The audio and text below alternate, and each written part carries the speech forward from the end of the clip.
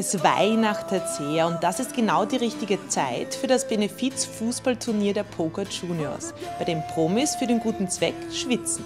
In dem Fall geht es eben darum, dass man mehr oder weniger also an Halbweisen unterstützt. Das Geld, was da verkauft wird, geht eins zu eins und unbeschnitten in das Projekt. Wie bereitest du dich aufs Fußballspielen vor?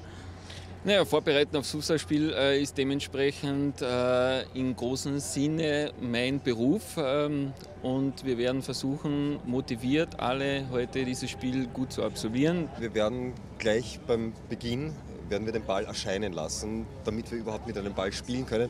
Dementsprechend ist der Ball ja schon auf unserer Seite. In den letzten beiden Jahren dominierte die Prominenz in Krumbach. Diesmal bringt der Anstoß von Miss Austria wieder Glück. Nach einer eleganten Körpertäuschung durch Mr. Ferrari Heribert Kasper gehen die Promis in Führung.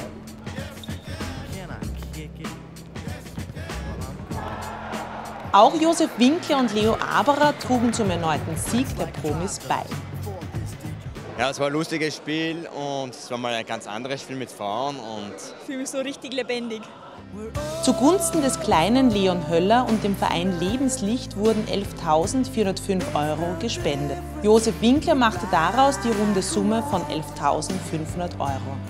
Eine schöne Veranstaltung, wo man den Geist von Weihnachten gespürt hat.